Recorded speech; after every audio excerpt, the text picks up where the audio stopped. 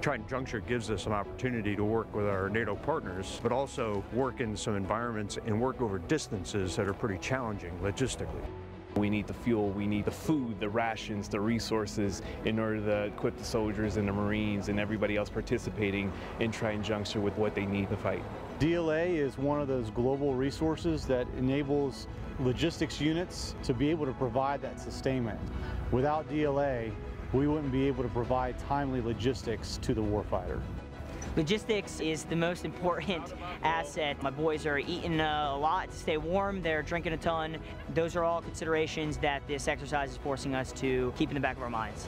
Having an agency that's focused and builds and maintains the relationships that we need when we have to surge or when we have to rely on our host nation partners to help us out, that relationship is there.